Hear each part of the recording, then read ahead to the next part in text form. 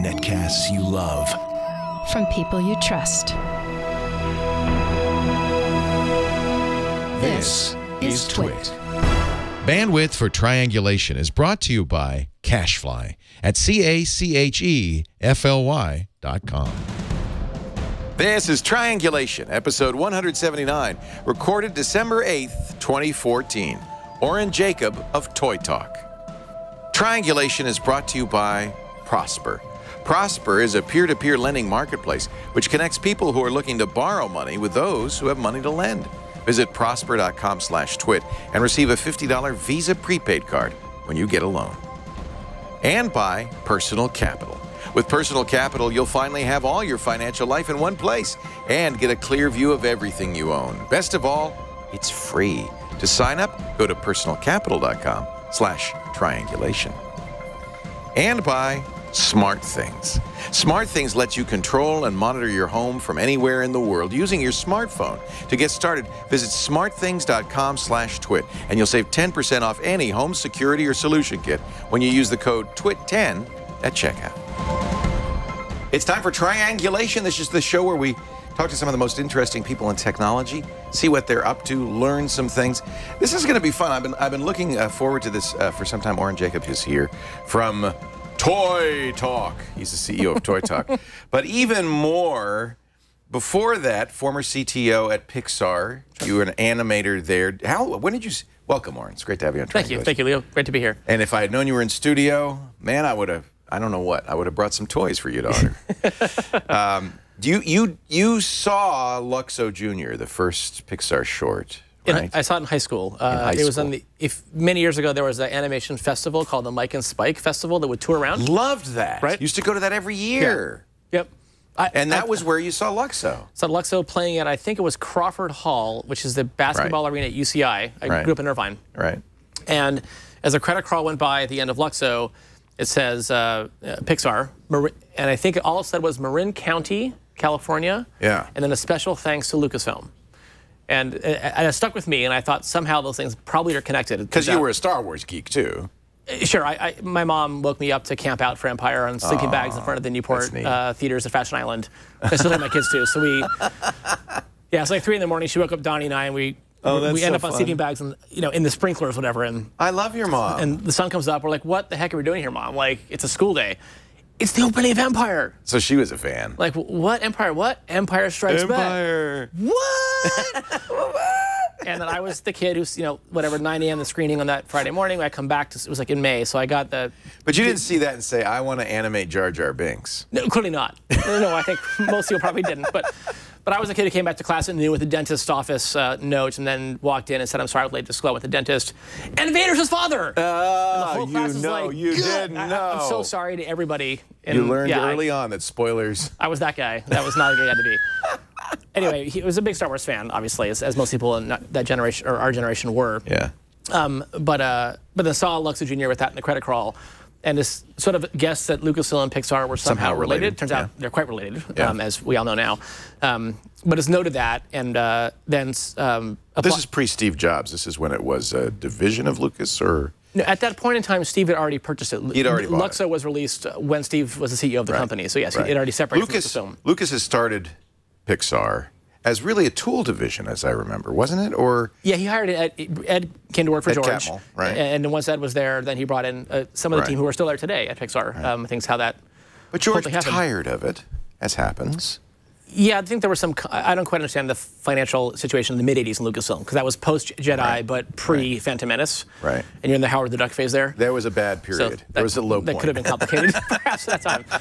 Um, but uh, but yeah, I, I guess that um, he wanted to sell the division off, and uh, Steve you know, picked it up at a fire sale price. Y- Yes, he did. And got the team, uh, the software, and the, the folks. Of interesting side note is that I believe it worked because they were all intermingled in the Kerner buildings, which I drove by this morning coming up here. Um, and I think the folks who went with the Pixar sale um, got to keep the stuff in their office because like you're in the same building. So like you know, Office One stayed at Lucasfilm, Office Two went to Pixar, three went four different Wow. in the ABCD buildings in Kerner. Um, and many years later, um, uh, one of the guys who I, I think is still there, been there for many years, named Neftali, was a model builder back in Empire and Jedi, and it came to do computer system repairs. And so I walked into his office as an intern when I started in 1990, and I see like an X-wing, a Y-wing, an actual Falcon, and like an Imperial Star Destroyer, like the Carillion size ship, which in miniature phase is like an eight-foot miniature. Right. Um, sitting on a shelf. Right. I'm like, holy cow, what? Is, What? What's that about?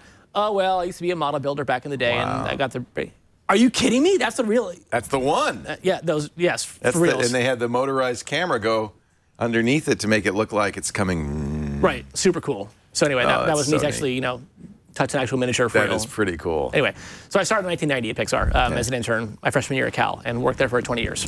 Interesting. So, so you didn't study graphic design, or I mean, you just you kind of learned as you at work. Yeah, I was actually a mechanical engineer by degree. I got mechanical engineer. Yeah, of all unusual things, uh, which is was applicable in a meeting in my life, which was talking about fluid dynamics for splashing water on Nemo.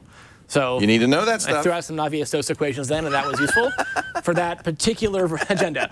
But um, no, I was, I was studying uh, engineering at Cal and got an internship at Pixar, and then just stayed because I learned my computer graphics and filmmaking there.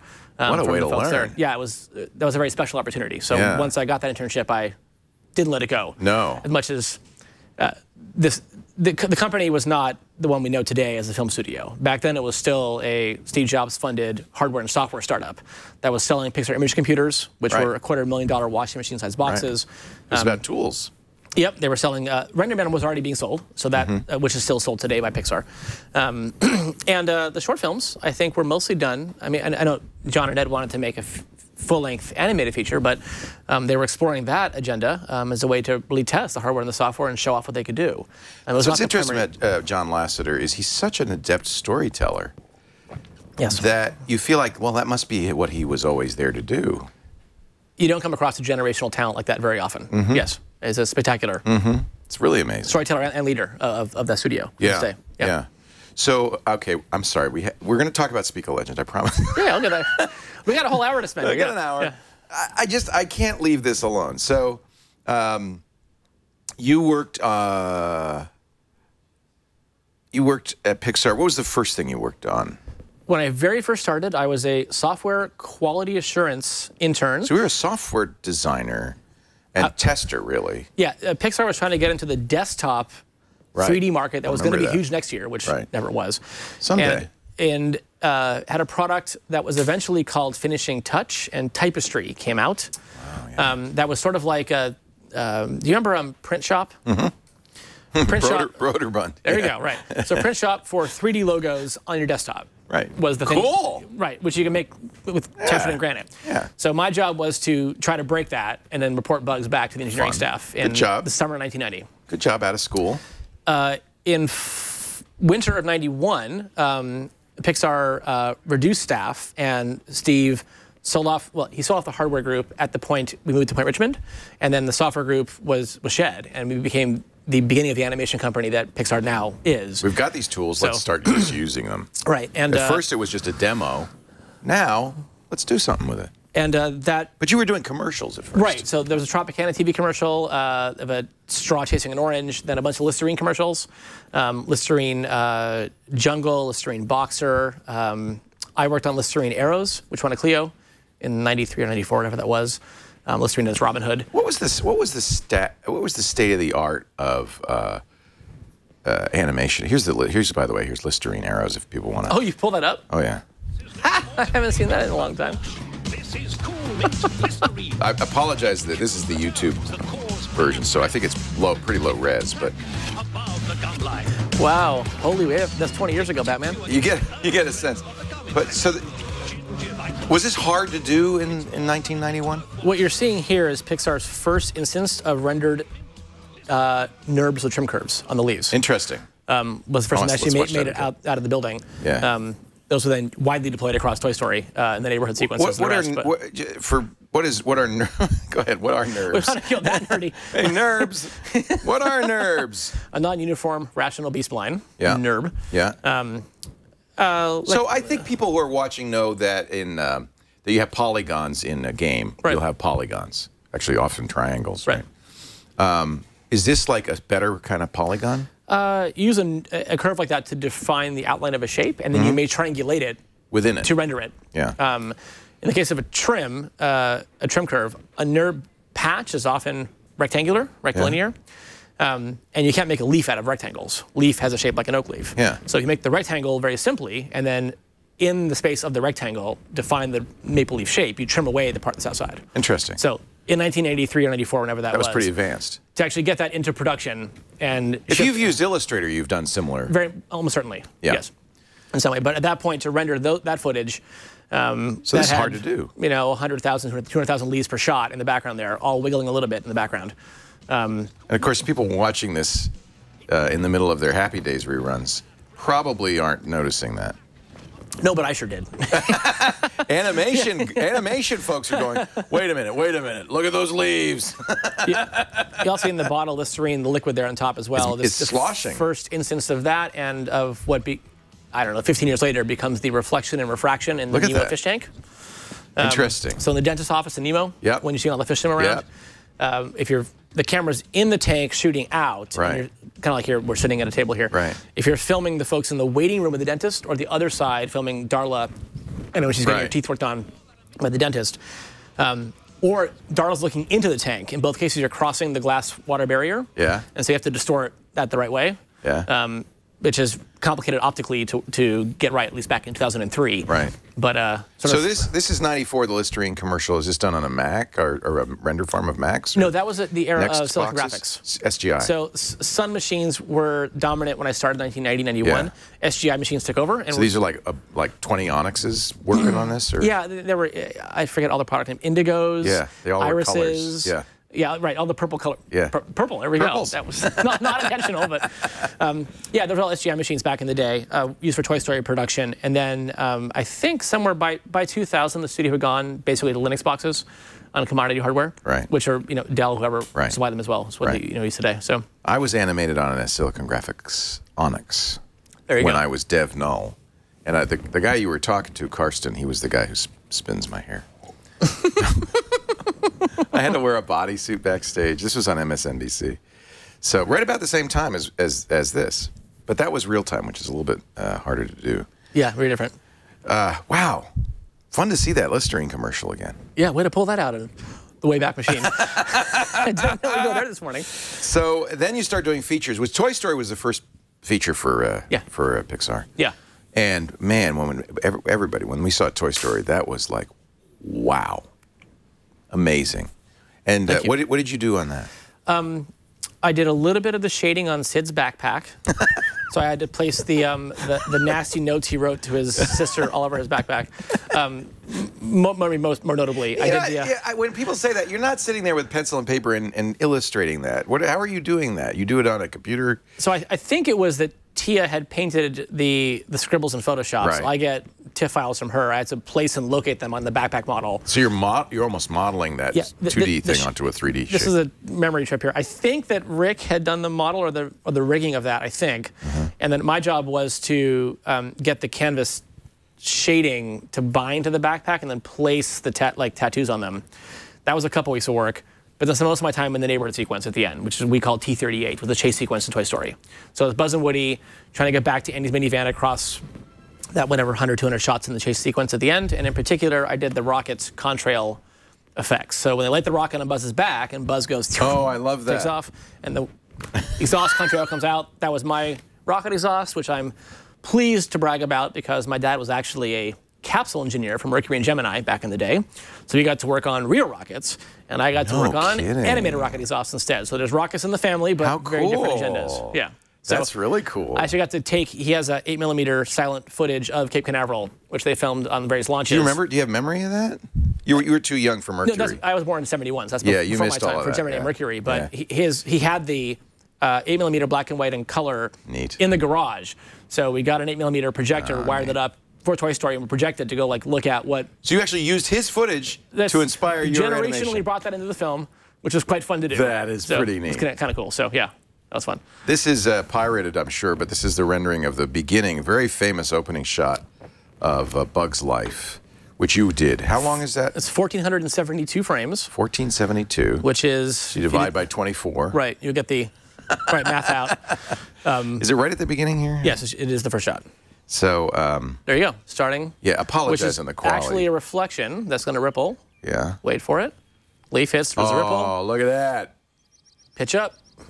Some of this, when you do stuff like this, is a little bit of like, let's just show you what we can do, right? This shot, we, we're kind of flexing our muscles a little bit at a time, yeah. And now we're going to just slowly But what a good in. way to start a movie.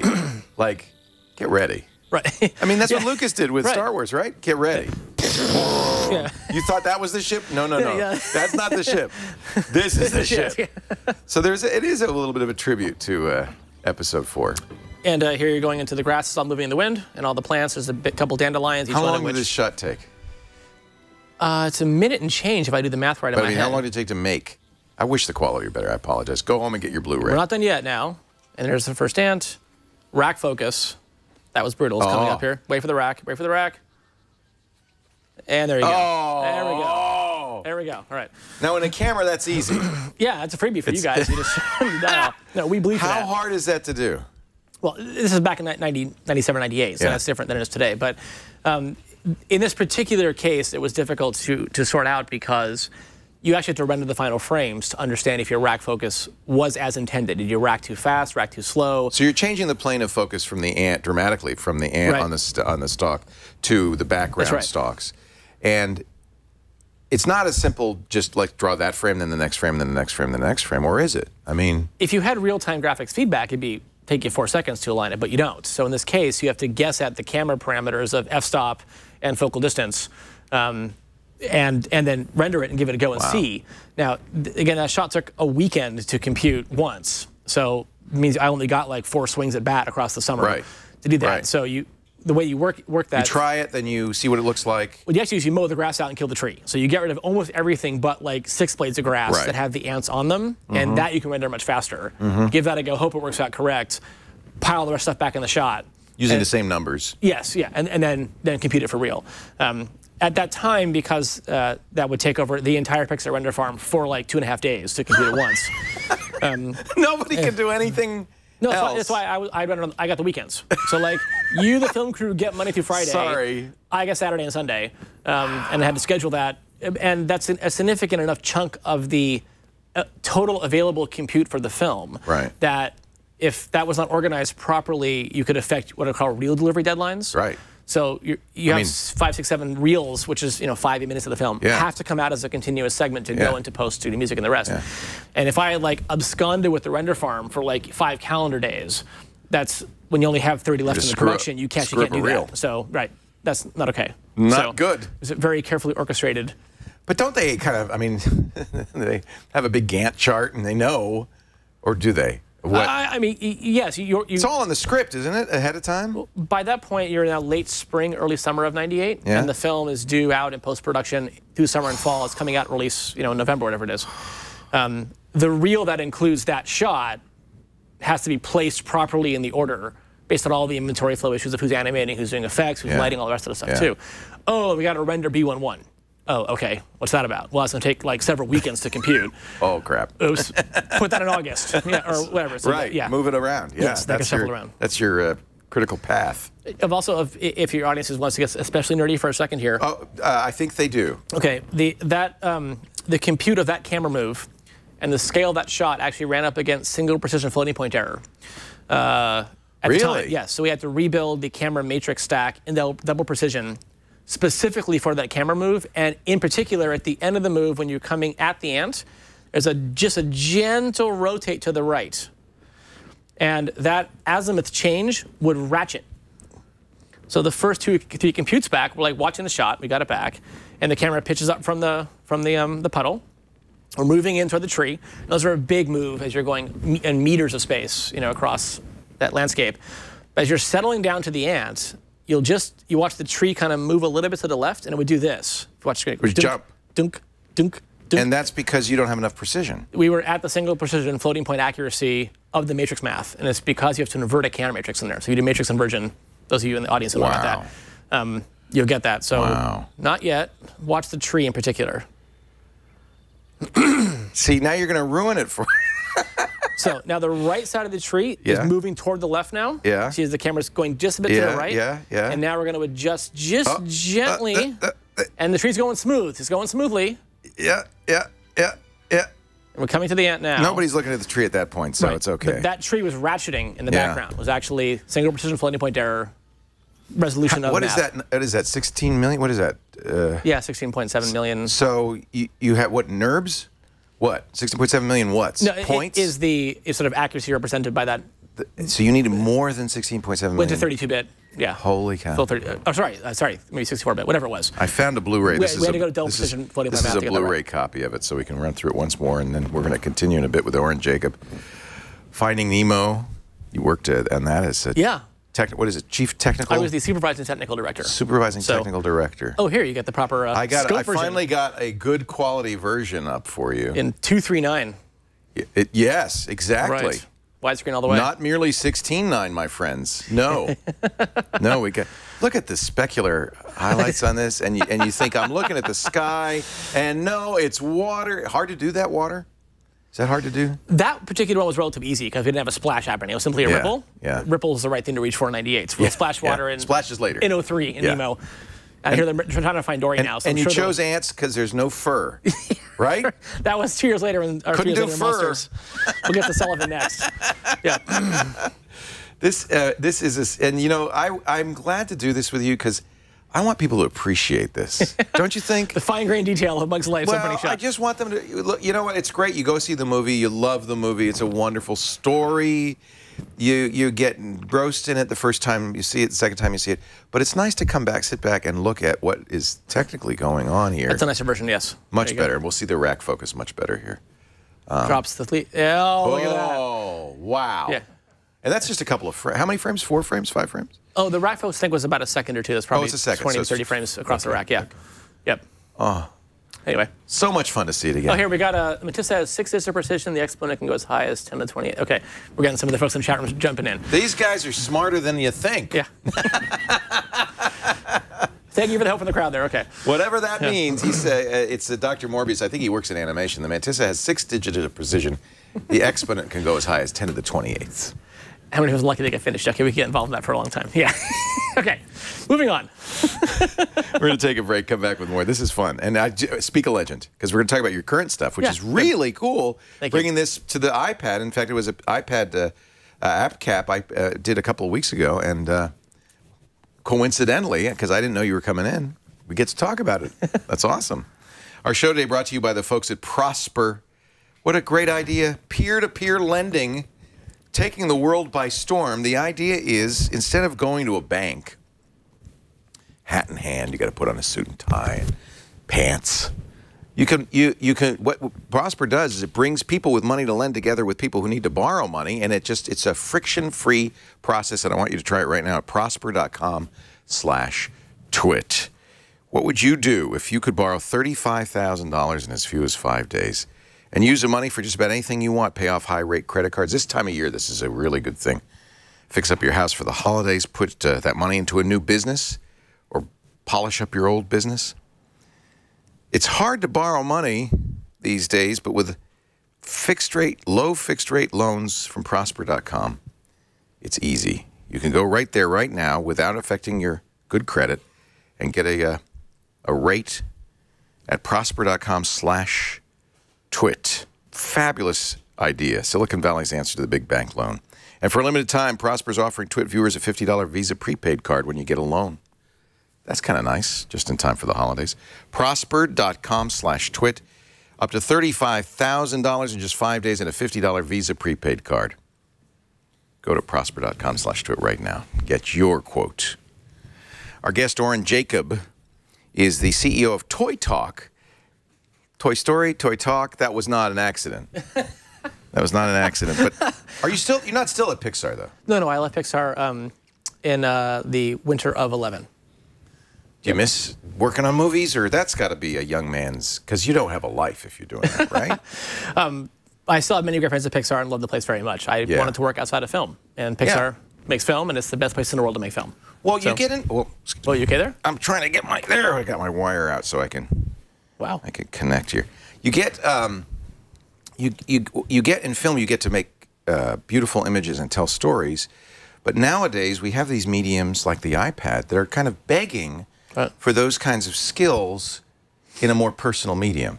So I could see how somebody who's done that on the big screen would like to do it on, on the little screen. Well, you know, the the idea behind Toy Talk is is to build characters in conversation with an audience directly. And Which is why that's the other thing. You're breaking the fourth wall. You're actually right. talking. Really do that or not? Yeah. And um, uh, yeah, having worked as, in computer graphics and storytelling for 20 years um, at Pixar and, and loved every minute doing that as well too, I was sort of possessed by this moment with my daughter. You know, I mentioned Toby's now 10. She I guess was seven, yeah, late early seven years old then. Back in the spring of 11, and uh, whatever iPhone version was out then, I don't know, iPhones two or three, whatever it was. We were running Skype, and she was Skyping with Grandma down in Southern California Yeah. goes off the Skype call, says bye grandma, bye, and hangs up the Skype call, and then kind of looks at me, and we're in, in the playroom downstairs in our house, and turns over to the pile of, of plush toys and stuff on the side of the playroom and says, Dad, can I use this to talk to them? And I was like, well, uh, Bing. Did a light go off? it just, it was a, a very direct question from a seven-year-old. Yeah. My, Martin and I were talking about doing some uh, some other you know other ideas at the time, but I mentioned to him that evening on our phone call I had with him, and a week or two later we kind of came back to the question. I was like, what was she really asking there? Was can she Skype with her teddy bear? Can she Skype with you know that that American Girl doll, that that you know Vader, that Sammy But owns, kids whatever it was? have always done that. I mean, I remember my daughter talking to her American Girl doll, talking to her teddy Right. bears. They imagine the answer. There is an interaction going on, but uh, maybe you could make that more vivid.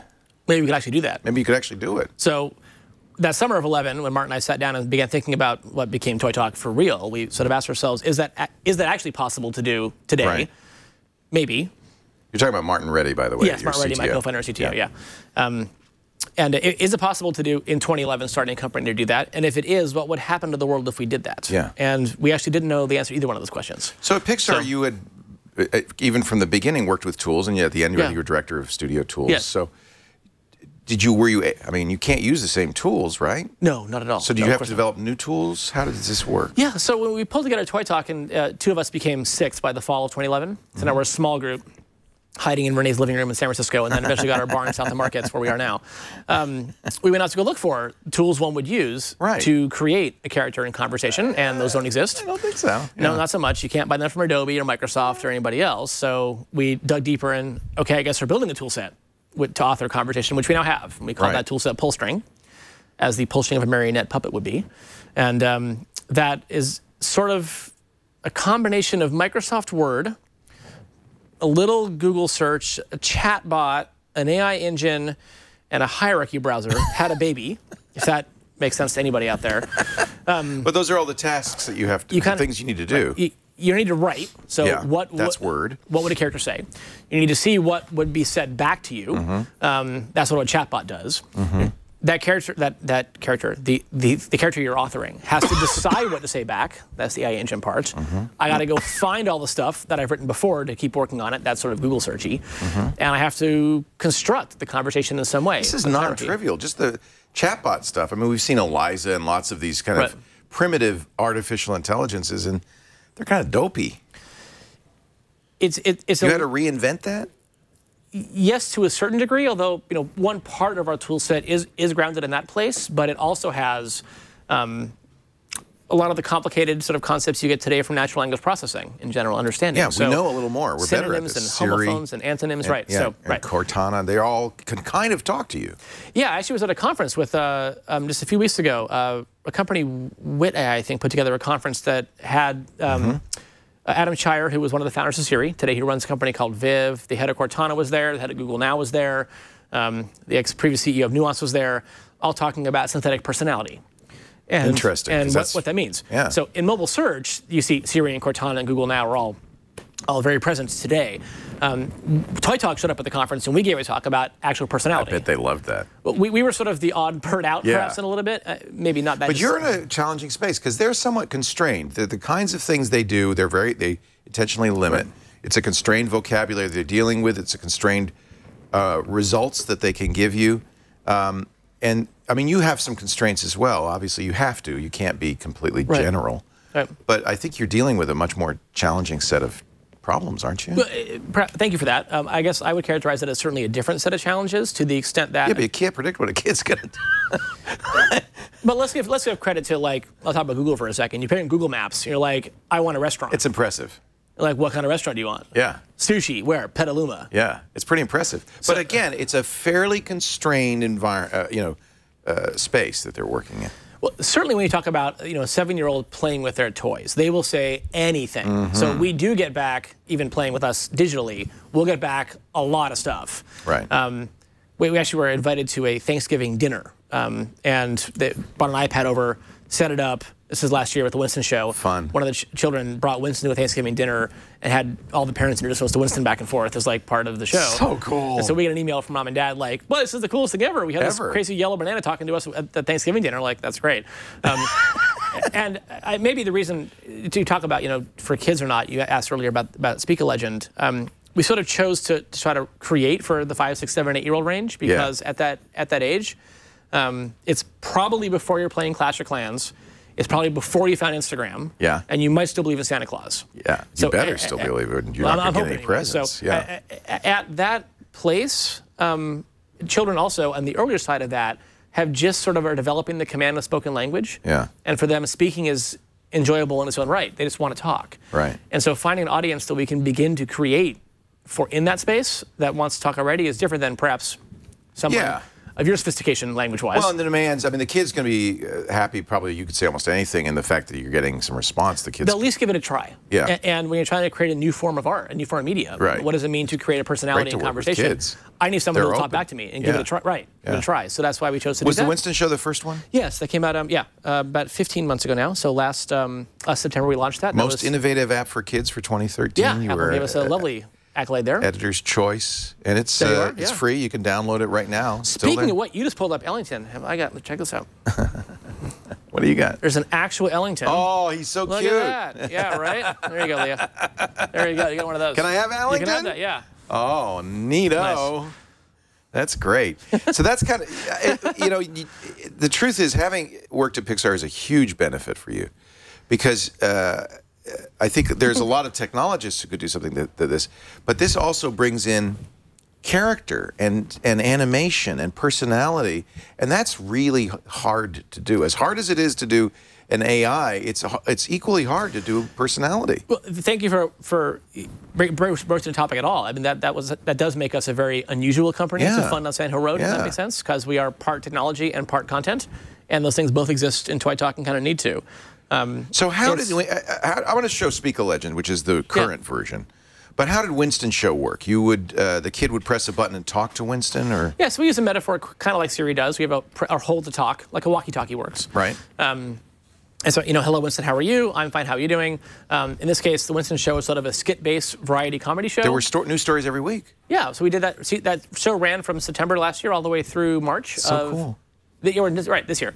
Um, and uh, yeah, you can. So that what you'll get now if you download the Winston Show is sort of what we call internally season two. So there are four or five episodes there, um, each one of which is more than half an hour to 40 minutes of playtime, back and forth, um, with the whole cast of characters you see there. Are Each- those in-app purchases? How does that work? that whole it's all free at this point in time. That that So you're just interested at this point in getting a, sta- a foot in, the th- door that, that product's offered at no charge. Yeah, so everything's Um, free. And That's great. just as you did earlier today in the show, all parents have to give us consent to do this we're yeah, talking to kids. and I should point that out because, uh, and that's COPPA. Yeah. Uh, any anybody under 13 has to get parental permission. Otherwise, you can't inter- gather information. Uh, even something as simple as talking back to them. Right. You you you can't have the microphone. Can't even go on until you have parental in particular, any data that, that leaves at the particular mobile device and Right. touches an internet connected server. Right. Um, which, of course, we do speech recognition on the cloud, And like the you do with everything you're doing too. that, yeah. So um, we ask parents for direct permission, and also that means so that um, we can share back with parents what their kids say, which is quite a That's kind of a fun part of the website, by the way, is you have uh, uh, the best of um, editors' picks, you call them. Of, Yeah, so that, some- that parents have sent you these, or Yeah, so some parents get really because there's kids say really funny stuff. You know, mail us or submit to us and say, "Hey, this is super fun. We, you know, put this on your site." which We- one should I play of the four you've got? Oh gosh, uh, got here. I um, I think the the beaver, the, uh, the elephant and the beaver. I Elephant or the beaver? Let's do the elephant Okay, first. there you go. So this is uh, some, and by the way, the parent has sent this in and Yes. given permission. So uh, this is. So first, you're going to actually let me start over again. So first, you're going to hear the the SpeakaLegend character Right. talking. That's from you guys, and then there'll be a pause, and you'll hear the child's response. That's to right. it. Can you turn it up a thought little? that going on a sleepover would be so stressful. Here I was thinking I'd never be invited on one, and now that I have been, it It was weird that at well. first I was too scared to even go. You know what I mean? Now, that, by the way, that's a very interesting um, starting point for a kid. You've actually thought about these things that might be emotionally charged issues for kids, and you're giving them a chance to talk You know about what? that. In this case, it's I a, never thought that a sleepover. I think that's really would be so interesting. Here I was thinking I'd never be invited. You could talk over it Okay. heard. Um, we found that um, if we ask kids questions that are yes or no, or Here's the here's the child's answer. Yes, I do. I know you're scared, elephant, but there's nothing to be scared of. Pack your wheelie or another stuffed animal and pack a blanket and a pillow and an So this is a extra kid. This is real. yeah, This is a kid talking back to this elephant, having this conversation. Yep. I'm pleased to report. Yes, it is. Yeah, That's great. isn't that cool? I mean, right? Yeah. Now, th- this drives the speech recognition scientists completely crazy, because that's free-form conversation. yes. right? And uh, that's not the kind of data you typically get talking to a mobile personal assistant or not. Right. Um, Well, but the good news is the elephant does not have to deal with what the kid says at this point. I mean, the elephant doesn't have to understand it and respond to it. We have to understand It was- enough that the next thing the elephant says back makes sense in the conversation. So you do. well, we, we'll do our best, but that, Yeah. that is that is the challenge of natural language That's understanding really hard. at the fully fledged, like Yeah. human conscious level. Yeah. I'll get to in 20 years from now, but So the idea is you want to continue this, go back and forth for how long with the kid? Well, as long as they want to talk to us, I suppose. Continue, but, right? But okay, so it's not infinite. I mean, I guess on the Winston show, we tried to design the skits to be five to seven, to eight minutes experiences each. Yeah. Um, here on on um, uh, that's from SpeakaZoo on SpeakaLegend, which you have on your iPad. Yeah, we expected to- the child's playtime to probably be, let's say, uh, five to 10 minutes per character, I suppose. And uh, what we find typically is kids will play with us for about 20 minutes or so, 30 minutes at a time, Yeah. um, which is very long for mobile experience. But um, uh, all that's really focused on conversation two ways. And that lets us both, you asked a question earlier about the kind of topics we, we talk about. I mean, We- that's we a found- particularly interesting prompt. That's that's a, a psychologically deep prompt. We found that, like I said before, yes or no questions or ABCs Yeah. or things, kids will go yes or no, and like, who really Right. cares? But when you ask how or why questions, Yeah. now begins a conversation for real. So really opening up to the things the kids want to talk about is what we're trying to learn as, as a writing team and a creative team to find out ways that they want to talk to us. Um, when you do No that, no one has ever done this, right? I mean, this is you're in Not- not- uncharted territory here. yeah, we're, we're off that edge at this point. Yeah. Do you have uh, do you have a, a psychologist working with you on some of these? We have a or- couple folks who are advisors in child psychology. We talk to um, about what we do, but I think mostly it's just writing content and then next morning listening to what kids say back and then Yeah. adjusting and changing. So you it. do listen to them and see how it works. Inside we do. That's why we get Yeah. permission, permission from parents to do that. Yeah. Um, and that lets us improve the show. So um, this, as a, as a form of media, what's unique about conversation done this way in 2015, or 2014, I should say, or now, Right. is that it's a cloud connected service and has to be. There's no recognition on device you can do that will let you get anything close to what you can do on a, on a cloud service. no, you have to. Yeah. That also means that you're a live cloud service. And Right. so for us, as the Winston Show was, or Speak a Legend is today too, um, we tune the show day to day Right. and can, in fact, minute to minute. So if we, as we first come out to market and we realize a bunch of kids are not getting a certain part or like they're not going to this part of the show or not, we adjust the prompts, change the change the structure of that that character's mind, and it's pushed back to AWS and Amazon's cloud and is live a second later. So it, it, it is very much not a film. When you finish a film, you go to theaters and you're done with it. This is much more like running uh, a a online service. multiplayer service like Yeah. Clash of Clans or World of Warcraft. right. So, for or like a Broadway show actually. So our work until we launch in the App Store is rehearsal. On day one, when Apple puts us in the App Store, curtain goes up, and now you're doing the show every night again and again and again, which the individual audience member thinks is just Cats or Annie or the producers. In fact, that show's different every night. Right. Change the blocking, you change an Right. actor comes in and out, you change the props as well too, because you're tuning the show live in market. That makes sense. We do that. Every, we do that. We do that. That's what we do. Wow. So it is a service behind it, um, both because it can be, but because it needs to be. We have to learn Right. how to write and, and learn how to respond back. That is, that is, that is the creative that's a, that's, it's a lucky thing that the computers aren't smart enough and fast enough to do this. Yeah. It should be a cloud service because it is. It's a performance. I like. We're gonna. I want to play it a, a little bit. Um, uh, Silicon Riot in our chat room wanted to know if you have any experience with uh, autistic kids and uh, and these Oh. and these programs or developmentally challenged uh, people. I've had um, actually a very moving story. Um, uh, it was an anecdote shared with me by one mother. Uh, this is probably three months ago or so. So no, no, uh, late springs, right, May or June, and um, uh, her son um, is on the spectrum and was not vocal, and uh, they got the Winston show for them on an iPad, uh, and the child didn't really know- sort of watched it and didn't respond back. And after some time, when we get no response, we'll just keep kind of keep going in the show and just sort of try to carry along.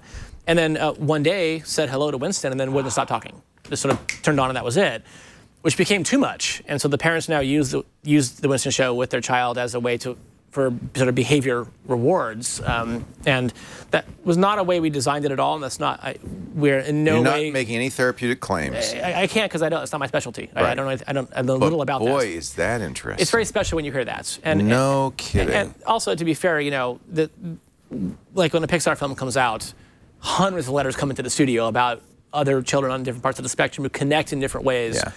um, to animated characters. Yeah. That can be hand drawn. That can be CG. It can be 3D. It can be not. Yeah. Um, the fact that even one child was affected that way made sort of the effort worth it in That's a so sense. Um, neat. That's so neat. And Wow. uh, yeah, I, I think it, when the time is right, um, the technology available that comes out of this um, has applications on the area. Absolutely. But that, that's obviously not ToyTalk's. this is a toy. policy. Right. We're just trying to learn how to Not do this right the first time. But yeah, I appreciate the question. um, Yeah, sure. really interesting. Oren Jacob is our guest. He's the CEO of ToyTalk. I want to play with SpeakaLegend, and uh, we'll, we'll show you how it works a little bit in, in a second. Our show today brought to you by Personal Capital. With Personal Capital, you finally will know where your money is, how it's working for you, how it's not working for you. You've got to plan ahead. I got to tell you, if you're going to buy a house, plan, saving for a rainy day, and most importantly, investing for retirement for your future. But a lot of times, you know, we have we start with the best of intentions, but this stuff is hard. All the accounts, uh, every, every you know, all your bills, everything on different websites all over the place. Your your your your your your investments, your bank account, your savings, your charge cards.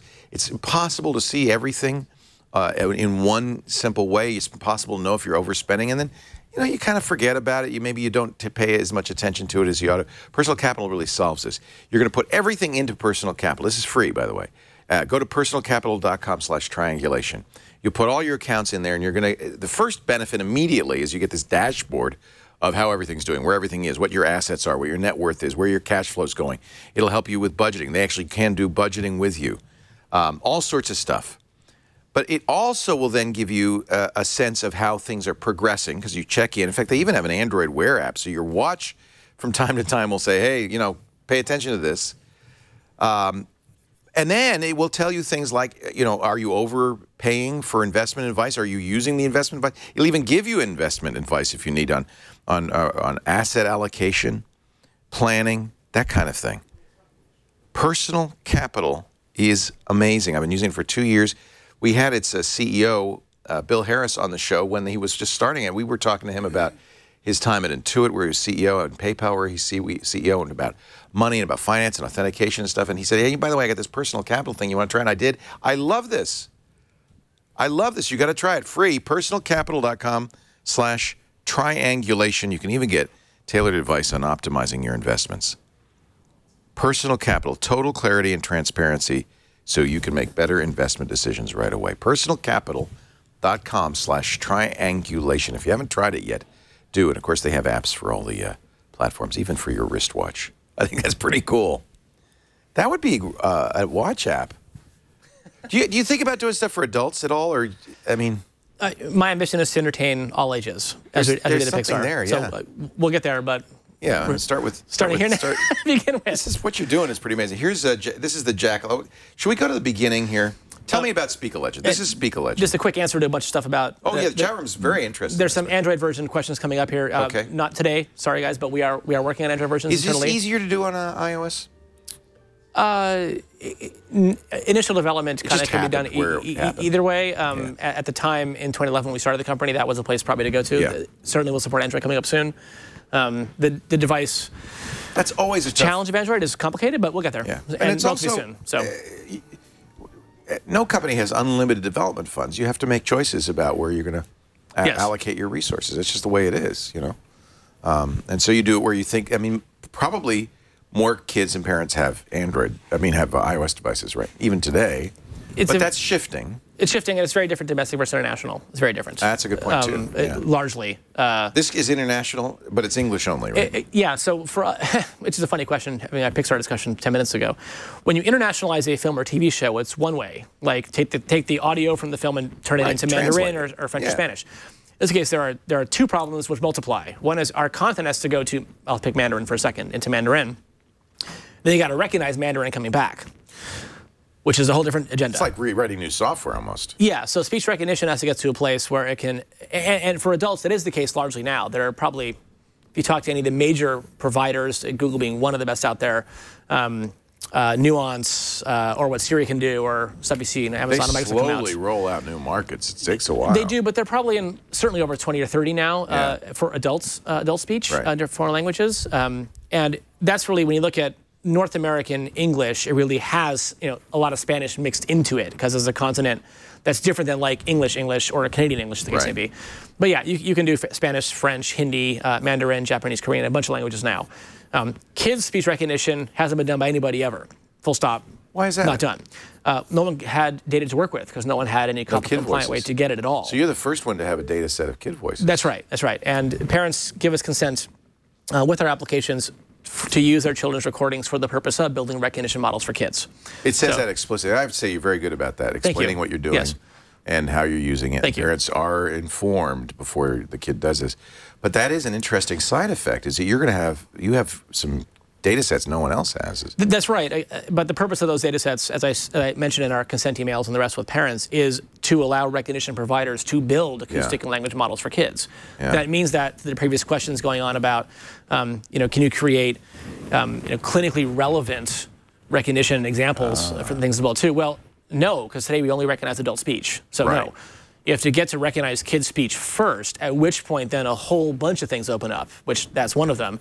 Certainly language education, reading education, pronunciation, foreign language learning, all kinds of stuff comes out of that, but you have to have the basic recognition capability there to even begin to open that space up. So that's part of the journey ToyTalk is on is to help that happen. Here's the email I got when I started with SpeakaLegend. Your kids, you could show my screen uh, on the computer, Jason. Your kids want to play with SpeakaLegend. We need your permission to play with ToyTalk apps. And then you really, I think, do a great job of explaining what's going on so the parent has a chance. And it's not, and then there's a big I give permission, but it's not the last conversation you have. You continue to uh, send information. Here's an email I got from you. Thanks for joining the community. Your kid said something awesome this week. You send recordings out. Well, we don't send a record, we send a link to the website, which is protected by a password authentication. So if you follow the link, you're back to toytalk.com. Thank you for doing it right. That's right. Only where you authenticate through, then you can see what your kid says only. Yeah. And then you may choose to delete that data or keep it around or do what you want to Isn't with it, that but only you get access to that. Let me play. I gotta play the uh, the uh, beaver, the beaver here. This is the this Yeah, is that's pretty this good. is the beaver. See, this is exactly why I need to talk to you. It is just so impossible dealing with animals that aren't as smart as you are. Hey, I'm sure you run into this stuff all the time. How do you deal with humans who aren't as smart as you? Well, did you know animals and other persons they don't have to be as smart as someone else. Did you know everyone can be very different? It doesn't matter how you're Wow. made. It There's hope for humanity only here. matters if you're a nice person. Oh my God, I'm gonna cry. Yeah. uh, that- that- that and these was- are kid, things kids probably wouldn't say to even to any. I mean, this is something. This is a very intimate moment. So I, I've been testing out now with uh, hundreds of families in the Bay Area. When I drive, I go take our, our products as we're developing them and, and test in houses, and I noticed there's sort of two sort of categories of behavior for the particularly presentational child who likes to be noticed, likes to be loud and out there. They will almost always grab the iPad and just go for it in front of mom, dad, myself, two coworkers. They're performing. They're on. That's about maybe uh, half of kids Yeah. another about a thir- third or a quarter of kids um, uh, often the um, they won't sign up for dra- drama club they tend to be more more um, uh, n- not as presentational in their interest will like study it let me try for a while then kind of take it and they'll leave quickly Yeah. and they down the hall in the door close the door good. Where, where'd they go well they're going to go play in the room This is private. Okay so in that case we ask the parents we'll walk down the hall and kind of sit in the hallway And listen, so take yeah, notes and listen and yeah. see um, And they'll have a 20, 30 minute conversation, come out, I'm done, here you go. Or, or not, as case They be. wanted to go but in private. They want to take that to where they want to be in their space. And the fact that we can reach a child like that at all is a very special thing. We take that, you know, treat that very carefully. But that is possible to reach that level of connect- connection now um, with an authored experience this way, which is pretty cool. Wow. So Um, so okay, I've got I've, I've I got my daddy's permission to a place SpeakaLegend, and so here this is what you see, right? We, what Yeah. what, what should I do now? What do uh, I? pick your favorite character. The Cyclops is quite fun to play with. Uh, right. Bigfoot's pretty good too. Um, So I, I'm going to the Cyclops. Now this uh, how much? This is all pre-can. Hello, hello. Oh, oh, oh, it's been so long since I had a little pet come and visit me, and you're the cutest puppy I ever saw ever. My little puppy. hello, puppy. How are you? Now it's going to show a little. Right. And the kids pretty quickly grok that you press that to talk to it. They do now, and that's been a very significant change in the last three years only. So when I first started the company, this was hopeless. Yeah. What and do I'd you be do? like, it's like Kid a walkie-talkie. at it. Like a what? A walkie-talkie. They start A talking. what? A what? Right. Right. So Kids don't have yeah. What? walkie-talkies. what? Now, uh, Apple had bought the startup Siri, which had the app Siri sometime earlier on Right. late 10 or early 11, and released it as part of iOS in within a week or two of us starting ToyTalk. This coincidentally. Within a year of that, by the late fall, uh, late of 2012, early 2013, it went from zero to 100% of kids understood that metaphor. And in the past 18 months, I have not met a child who does not heckle Siri endlessly. That is utterly pervasive at the grade school and younger level. That's fascinating. Yeah. That, and all of us sitting here, What a like, uh, cultural change that is. all of us above age 15 don't get this at all. Like, So kids uh, are already doing this with Siri just because. because I could heckle them. All What's right, your well, favorite color? What's your, so, what's your, Hi, Cyclops. I am not a pet. see who does that one. Oh, because I thought you were a cute little puppy. Yeah, because you have two arms and two legs and two eyes, just There like a cute little puppy. Oh, but that's okay if you aren't a puppy. Hey, hey, you know what looks like a sheep because it is white, but it isn't a sheep because it's a horse with a horn on its head. Do you know what that is? Um, is it a unicorn? That's right, that's right. It is a unicorn. it. Uh huh. Uh-huh. Now I'm getting stars you know here. that? Yeah. So as you go through the conversation, we're going to reward you uh, I am smart. once you get the Did first you nine animals See a unicorn before? happy and coordinated together. Then you get to unlock the unicorn. Then I get to see the Now, unicorn. touch the That's- so that gives us a goal. Right. Now start touching the sheep and the rocks too, which is super fun as well too. yeah. All kinds of fun there. My kids always. Oh, it's nighttime. Okay, so two things happened there that are actually quite relevant to talk about now. One was you're touching the screen with the sheep, which he did not comment about. The other Yeah. one was the screen he does comment about. Then touch him in the belly, on the belly button. Oh, I have to talk. Uh, Did you ever see a unicorn before? I haven't seen one, we but I about it. heard that if you're also, his always well, nice and his and feet and his kind and not squeeze people too response to those hard two. when you hug them, you'll make everyone very happy. And You can see how a kid would just dig the heck out of this. I'm this. still working on the not squeezing hard part. Do you hire actors? Where do you get these? Um, one of the main voice actors actually works with us at ToyTalk. Uh, he's also one of our writers named Dan Clegg, who's good. a local Shakespearean actor. Is great. Yeah. And we also use Sarah and Chris Scott and a bunch of folks inside of ToyTalk as well. Uh, you can do his face and his arms as well too. Try it around. There he goes. Wiggle his ears. Whoa! Yeah. He hit the sheep. If you get the uh, the grass it's to the screen left of his foot there, you get the, another sheep to come walking in. There's the black sheep. Gotta like that one. Yep. Who is that black sheep? Do kids learn? Well, well, well, you should definitely say that. Uh huh. Then you will be best friends with a unicorn and fly away into a rainbow, and I'll cry out of my one eye and be sad because I will miss you. oh, but then you can wave down at me and I'll look really, really small to you, so that Don't will make me me, laugh. Tiny. Nice. Um, so what I was commenting on before was um, the combination Okay, okay, okay. We could we could silence the ogre. I mean the cyclops. The combination of touch and talk actually is uh, is also undiscovered country. So if you and I are at dinner, and we're talking over dinner, and I drop a fork, Yeah. you probably don't say anything, and I go and pick it up and carry on with the meal. Yeah. We're talking at dinner, and the lights go out. Yeah. Blackout. What happened? Right. Okay. That interrupted your conversation. Right. So now, how do you handle interrupts? If you're talking to a cyclops and you're touching the sheep, or changing the night to day, Yeah. or touching him with the club or his body Yeah. or not, um, if you're like, "Hey, Leo, can we talk for a minute? Right. That's that's, a- very different Yeah. than if I'm like, hey, Leo, what's going on? Yeah.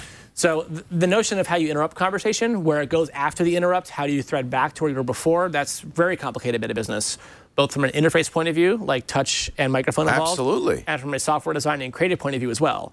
You'll notice that the the digital assistants, Siri, Cortana, Google Now, and the rest. Don't present a character on screen. Right. I mean, Cortana does to, to you know who she is because of the video game reference. But like Siri and Google Now are just an audio waveform and a You know, it's screen. interesting. Microsoft says the reason uh, Cortana has a visual appearance is in, is in Asia. They expect it. And there's often this meme that you know five or ten years ago, Korea, Japan, and China, where we're going to be now. So Right. they're they're several years ahead of us. Right. The notion of a digital personality, like as a rock star, is pervasive in Japan. Yep. She's off touring. Theodoro, yeah, well, just you go Right. see. Somebody, a friend of mine just saw her recently She was, I think, perform. came to LA. Yeah. The live backup band, but she's Yeah. a She's a, a hologram, right and it's like real, ish. ish. well, has a huge fan base. And Aren't we in interesting times? And you, you really uh, in the cutting edge, the foreground of this. Do you ever? Now, this is an entertainment uh, Yeah. uh, product, but do you ever want to introduce some educational elements, even things like simple things like how to converse and absolutely, but to get like didactically relevant, you probably need speech recognition to be at an accuracy place you can yet. give the lesson Yeah. that you intend to give. Yeah. Um, and as recognition rates get better, absolutely, that there's uh, there's a there is, to my knowledge, no satisfactory like language learning you know digital offering that involves you actually recognizing speech back and forth at this kind of level. Not yet. That I've seen out But there. boy, would that be So- valuable? Something like Duolingo with For sure. with this technology, and it would be hugely Yeah. impressive and interesting. Uh, We'll get there. yeah, yeah. Maybe relatively soon, This but is a big today. step. Speaker Treat, SpeakaLegend, Speak a Zoo, and the Winston Show are the four apps Yeah. right now. You can find out more at toytalk.com. We've got uh, its CEO and founder, Oren Jacob, with us. We'll wrap it up in just a, a minute, but first, uh, it's time for me to tell you a little bit about smart things. We're talking about smart kids. Let me show you some smart things. You want your house to be smarter. That's the next thing, too, to be able to talk to the house. We're, you know, Yeah, that would be right. awesome. And you, you know what? SmartThings is getting us a, a long way there. This was a Kickstarter uh, to create this, and they cool. raised the money a couple of years ago and did a great job of it. What is this? This is the SmartThings Hub. Got an Ethernet jack, a USB port. Uh, it works on the Wi-Fi, but the key to this is it doesn't just understand the SmartThings protocol. It understands a lot of other smart things like your Philips Hue lights or your Sonos music player, your Dropcam, your Nest, your Schlage locks, your Kwikset locks. It is the hub that connects all the other Internet of Things devices in your house. And of course, SmartThings makes a whole bunch of their own little doohickeys that talk to the SmartThings hub, like the SmartSense Multi, which can tell you when things open or close, when valuable items move. It knows the temperature in the room. This thing, the presence, is awesome. You put this in your kid's backpack, it knows when they come and when they go. Uh, or you put it on keys, and he knows when they come and when they go. Uh, so what happens here is you get started. This is the moisture sensor. This would be great. You put this in the basement, and you know if the you you could stop a small leak from becoming a major flood. Um, this is uh, this is uh, the uh, temperature and humidity sensor. The thing to do is to go to smartthings.com slash twit, and you're going to see the solution kits and the home security kits and that's where you should start because that gives you know gives you the sense of okay i'm doing this thing whether it is you know turning on lights outside when uh, somebody comes in your area or in your motion controller. We're going to save you 10% off of any home security or solution kit. Just use the offer code twit10 at checkout. And by the way smart things just announced they're going to start working with samsung appliances in 2015 so you can control a refrigerator, a washer, a dryer, an air conditioner. They even have a robotic vacuum. So the SmartThings universe is getting bigger and bigger all the time. They have apps. They're free for iOS, Android, and Windows Phone. Yes, Windows Phone.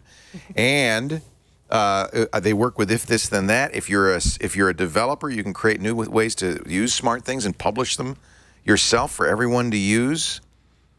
You can even trigger the sound of dogs barking on your Sonos when somebody comes in the house.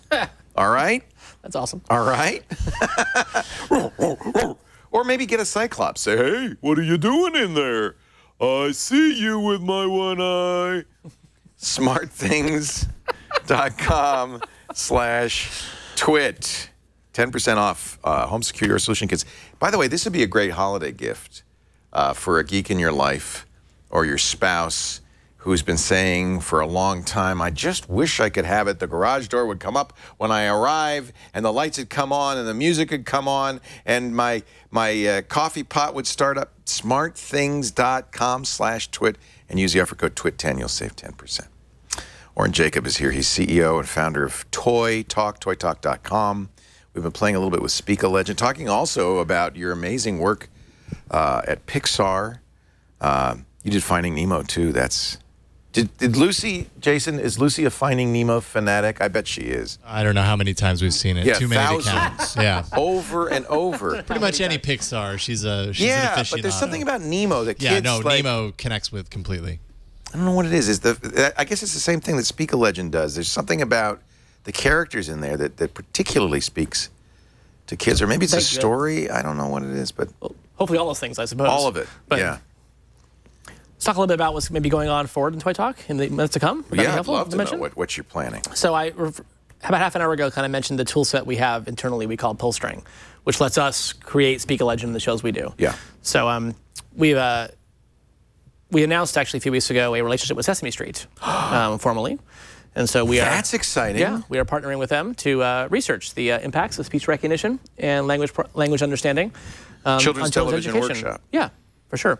Um, so that that's very cool, and I hope is a uh, sign of things to come with other partners. There are a lot of characters in the world that I think kids want to talk to, and I think that ToyTalk um, will really sort of reach its potential as a company if a whole lot of kids are talking to a whole lot of characters, and Yeah. a bunch of them are ours. But I a bunch of them are others this- as well I too, could which see would be great. in So- games as well, though. Um, I mean, uh, is a it doesn't have to be just that that thing. It could be part of a part of a larger universe of other th- of non non player entities. that, Absolutely. you know. To get to vocal conversation that way would be also a spectacular reach as well. So yes, it'd be, um, hopefully back here, you know, a year from today, we can talk more about I, I Those- think that's a guarantee. I'm really excited. those developments. But yeah, there's a there's a lot of interest now by other um, you know third party companies who see what we've Yeah. done with our apps as well too, and say, can I make my characters talk back? And Well, you have we a, you that. have a data set that is of real value, and uh, now are you you're probably not allowed to kind of sell it to a third party. and I don't. We Yeah. I, I asked the permission I get from parents is to use it to improve our our, our products Your only, stuff. and to build recognition. Speech recognition and natural language processing for, for children, for spoken language. Right. And it's for that express purpose only, which is what we need it for. Right. Good luck finding it uh, on the iTunes store, as I was mentioning before the show. Yeah. Apple doesn't make it easy, but if you search for ToyTalk or SpeakaLegend, you'll find it here. It is free, right? Uh, SpeakaLegend actually is a three dollar download. Three So dollars. it's paid or okay. download. Mhm. Uh, but Winston is free. Winston's free. Speak is free. Okay. SpeakaLegend is three dollars, and SpeakaTreat we did for Halloween, which is a very fun, fun. jack o' lantern barbershop quartet bit that I'm quite a fan of. I really Uh, liked yeah, that yeah. one. That was a lot of fun. Uh, but this That's it's really worth it. And I think uh, I'd be really interested if your kids use it. Four to eight, you think is the best uh, age? I think that's about right. Yeah. Yeah. Yeah.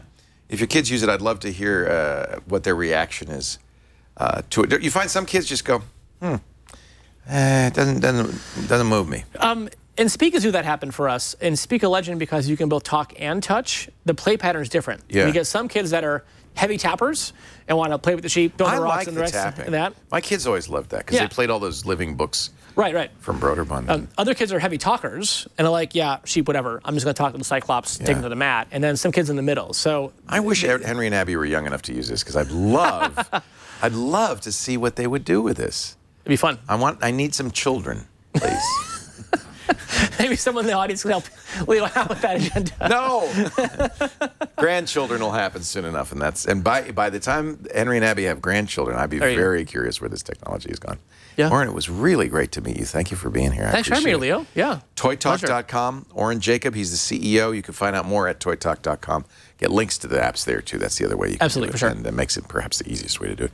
And uh, do you tweet often at Oren Jacob or? I do upon occasion, yeah. And Yeah. people say hi to me. I'm happy to say hi back as well and Good. talk to them back and forth. Good. Um, and ToyTalk also is an active social media network as well too. So Twitter and Facebook on, on ToyTalk as well. Oh, good. All right. People want to talk to the characters, talk to ToyTalk, you talk to me, you talk to me. But Great. Yeah. I like that. Yeah. Okay. Uh, or get SpeakaLegend. Right. They'll talk back to you. for as long as you want. Thank you, Oren. Really nice to meet you. Thanks, Leo. Really appreciate it. We do triangulation every Monday, 11 a.m. Pacific, 2 p.m. Eastern Time, 1900 UTC. If you can be here for it live, I really appreciate it because it's it's only triangulation when I get those great questions from the chat room. But if you can't, don't worry because we make on-demand audio and video available after the fact always at twit.tv slash TRI or you can go to youtube.com slash triangulation. You can get them there. Share. That's a good way to share it if you want to share it with friends. Hey, you got to, if you know somebody with kids that age, send them a link to this because I think they're going to be interested in this. Uh, you can also uh, uh, subscribe. That's probably the best way because every triangulation has something of, I think, of great interest, of fascination. Uh, last week we, we talked about landing on Mars and the future of Mars exploration with the guy behind the Curiosity rover. Next week, Ben Heck is our guest. We're going to talk about making and his great show. So there's always something. Triangulation. Find it on your favorite podcatcher and subscribe, and that way you'll get it each and every week. Thanks to Jason Howell, our uh, technical director, and to Karsten Bondy, our producer, for putting together this show. And thanks to you for being here. I'll see you next week on Triangulation. Bye bye.